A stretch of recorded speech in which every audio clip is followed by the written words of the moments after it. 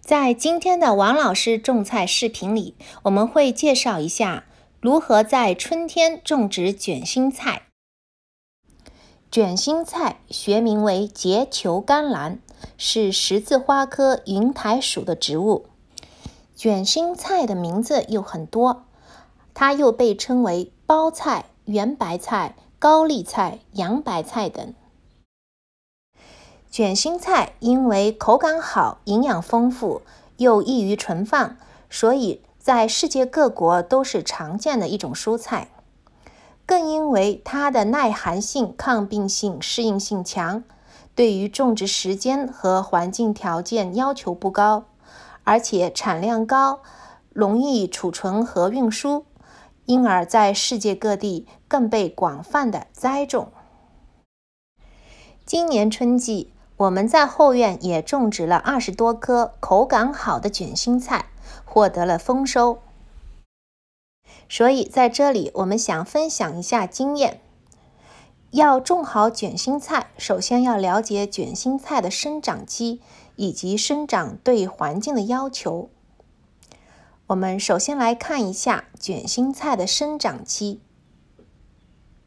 卷心菜生长周期可以分为营养生长期和生殖生长期。营养生长是指种子播后长根、茎、叶等营养器官以及胞心结球的时期，而生殖生长期是指花芽分化、抽苔开花、结荚产子的时期。我们最关心的呢是如何促进它的营养生长。那么现在我们先和大家熟悉一下卷心菜营养生长期的划分。它的营养生长可以分为发芽、幼苗、连坐和结实四个时期。我们在这张图里显示了各生长期所需的日数。不过因为品种和生长季节不同呢，也会有所差异。下面我们来看一下具体的各个时期。首先是卷心菜的发芽期，它是指从播种到第一对基生针叶展开，与子叶垂直形成十字形的时期，一般为十到十五天。幼苗期是指第一片针叶展开到第一叶环形成达到团颗时的时期。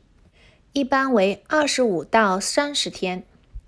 第三个时期是连坐期，是指从幼苗期结束至外叶全部展开、新叶刚刚开始爆合的时期，一般为二十五到三十五天。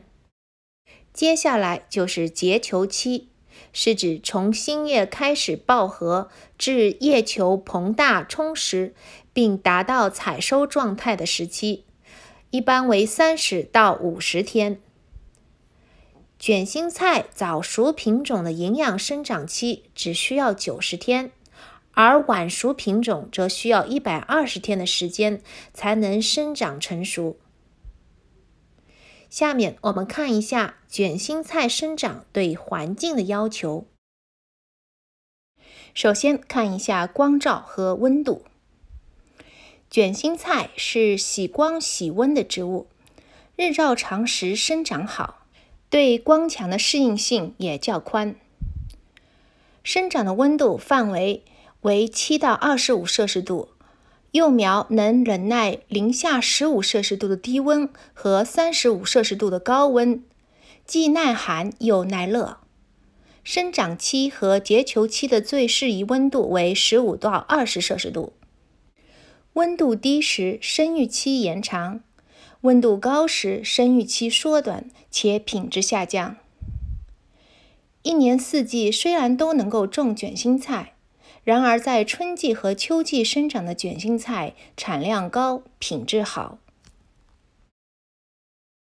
我们下面再来看一下土壤和肥料对卷心菜种植的影响。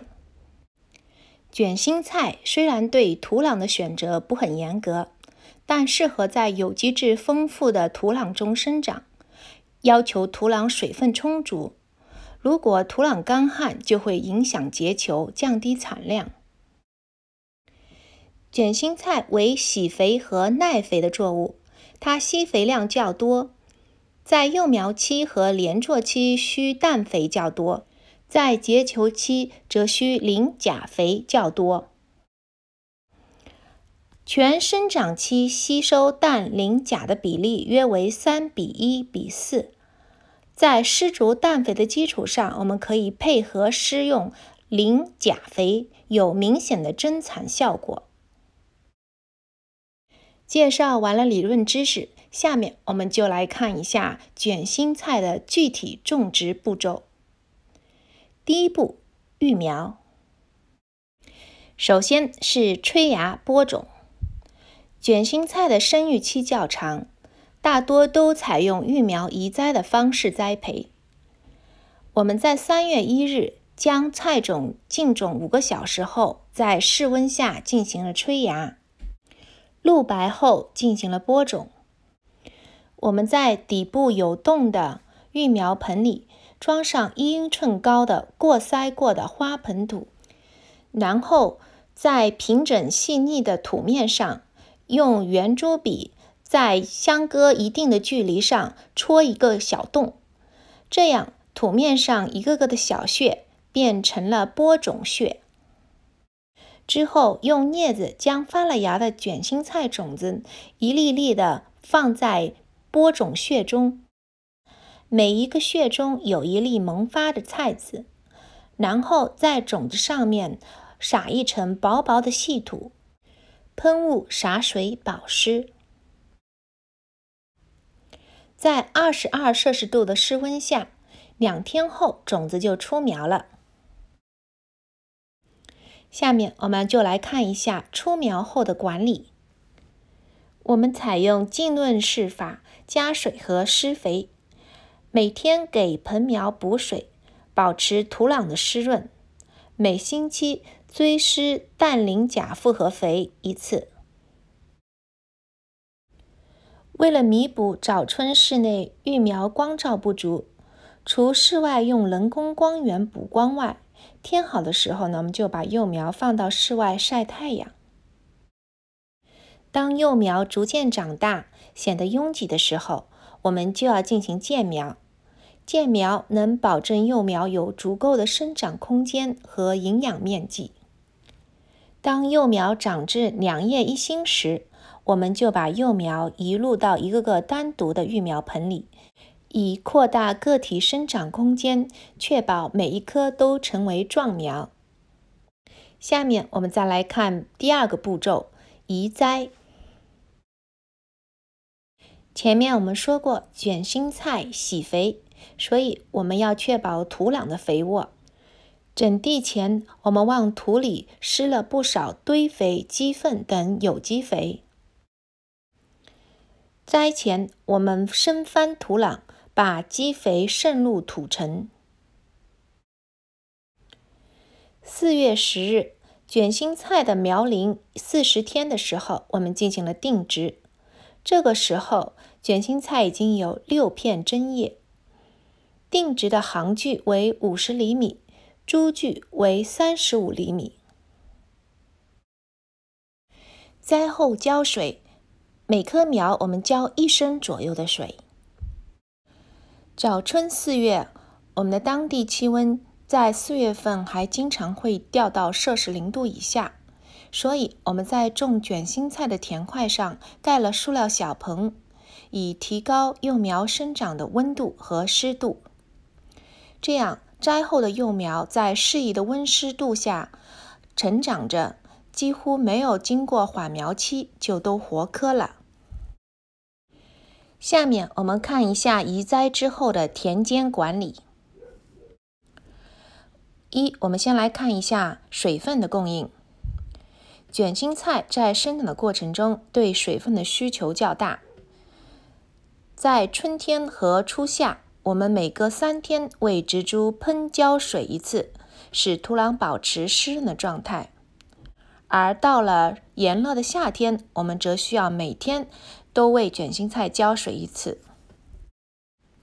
二、薄肥勤施。我们在移栽的时候，已经在田里施足了有机肥。那么之后，我们大约每半个月会追施 Microgrow 的 All-Purpose Plant Food，就是多元素的速效混合肥一次。我们把复合化肥配置成两百至三百浅蓝色的水溶液浇施，在苗期和连作期，每苗浇零点五升；进入包心期，每棵要浇一升。这里要提醒大家一下。等到卷心菜的叶球形成后，要控制肥水。到了后期，卷心菜快要采摘的时候，如果长势太快，就容易开裂。三、虫害防治。卷心菜的主要虫害来自于菜青虫。到了春天，我们看到这种白粉蝶在青菜、包菜地上飞来飞去，准备产卵，大家就要小心了。那么，菜青虫就是菜粉蝶的幼虫，它啃食嫩叶，喜欢躲在卷心菜内部最嫩的地方。一般来说，我们只要看到这些虫的粪便，就能顺势找到菜青虫所藏身之处。春季种的卷心菜在生长过程中，菜青虫会发生两代，这是菜青虫的蛹，由它蜕变成为菜粉蝶。除了勤检查、手工捉虫以外，我们也喷洒了百分之二的苦楝油加洗洁精的混合液，来防止菜青虫的危害。现在我们来看一下采收。经过两个月的田间管理，卷心菜星球长得个个厚实。到了六月下旬，我们进入了采收期。家庭种植通常是叶球达到紧实时，边吃边采收。我们用镰刀贴着地面割，把整个卷心菜都割了下来。采收下来的叶球。我们把连作期长的外叶几乎全部剥去，留下的部分做到表面干净无虫害。今年种的春季卷心菜，大的一般净球重两公斤左右，最大的一颗甚至超过了两点五公斤。收获的卷心菜内部十分紧密。新叶被包得严严实实，但是卷心菜也不是让它长得越大就越好。成熟的卷心菜呢，也要及时采收，生长过头就易发生裂球，这就是田间的裂球。此外，裸露的菜球上表面在烈日的照射下也容易发生灼伤。必要的时候，我们可以用老叶遮挡强烈的阳光，来预防菜球灼伤。总之，今年王老师种的卷心菜获得了大丰收。在莴苣油麦菜吃完之后，卷心菜成为饭桌上的主要绿色蔬菜之一。谢谢大家的收看，我们下次再见。